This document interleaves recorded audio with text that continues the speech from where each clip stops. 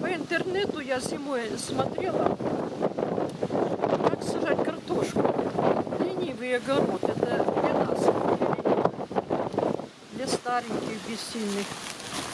Садить под солому. Вот ту картошку, которую посадили глубоко в земле, там что. И вот Да не, не, не, так видно. и я посадила под солому небольшую грядку, только как эксперимент. Мгм. И Видно. получила. А сажала я уже в конце июля. Всю ее. В конце июля. И вот посмотрите, как четко, как четко, вот, вот, вот даже вот так, что так, которая солома, вся крупная. На меня что-то. Ветер. А, вся крупная картошка, так хорошо. Мелочевка вот там, в земле, которая была, мелочь. И глубоко, пока это там окучили, там пололи, все, столько трудов. А здесь никаких трудов под соломой. Это достаточно там ей тепла, достаточно влаги. Все хорошо. Вот как они говорят, так и получилось. Вот эксперимент, пожалуйста. Вся картошка у меня вся под соломой. Вон какая крупненькая. Крупная, красная вот. Все. И крупная, и чистенькая. Это я грязными перчатками ее выпачкала. А так она чистенькая вся. Хорошенькая картошечка. Теперь на следующий год, живы здоровы, если Господь продлит мне жизнь, даст здоровье, я обязательно все засажу картошку, только под солому. А слой, какой слой соломы-то надо? Ну, сначала верхний вот так канавочку пройти и картошечку положить так сантиметров на 30-40 друг от друга. Потом чуть-чуть сверху присыпать чуть-чуть земелькой. И соломы вот сантиметров 30 положить. Так вот.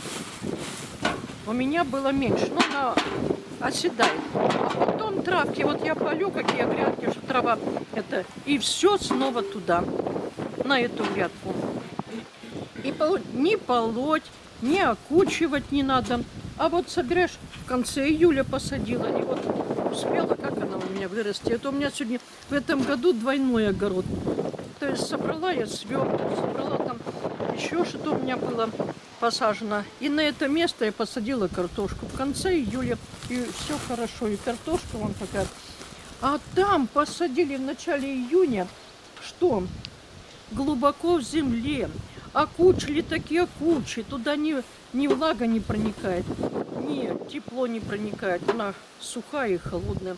И мелочевка получилась. И колорадский жук еще съел ее. А эту не съел у меня.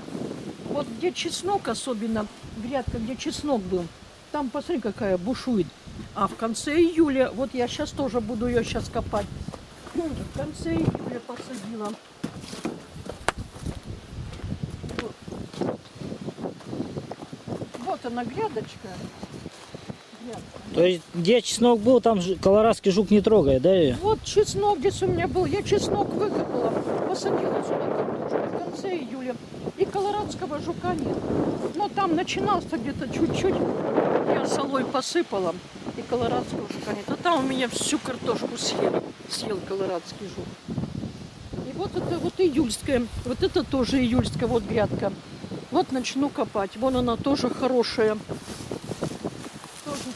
Хорошая и чистенькая. Тоже начну сейчас копать. Вот она уже отходит. Тоже здесь был чеснок и нет колорадского жука. Так что те места, где колорадский жук, картошки, надо садить чеснок под. А вот еще маленькая грядка, тоже под соломой, вот под соломой сидит. Но это я уже в августе садила. В августе, поэтому она еще не поспела. А это уже все поспела, так что можно копать. Тоже Прям вот я маленько и дождь, и холодно, и ветер.